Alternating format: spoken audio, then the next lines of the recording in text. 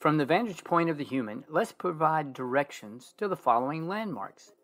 For landmark A, you can use north. For B, you can use west. But what about C?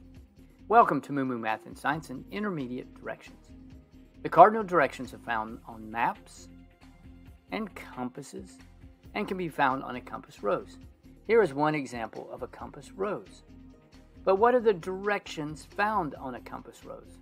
An easy way to remember this is to use never eat soggy waffles for north, east, south, west. So let's take a look at the directions again. Let's move a sphere out of the maze.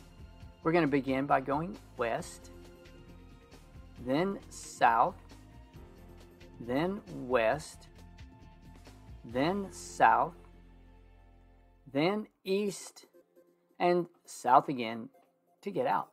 However, in order to be more accurate, you can add directions in between the four main directions, called intermediate directions. Between north and east, you can add northeast. Between east and south, you can add southeast. Between south and west, add southwest. And finally, between west and north, add northwest. These are the intermediate measurements. Primary directions fall these degrees on a compass.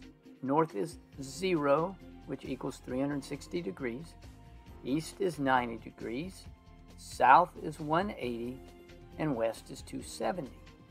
The intermediate directions fall at these degrees on the compass. Northeast, 45 degrees. Southeast, 135 degrees.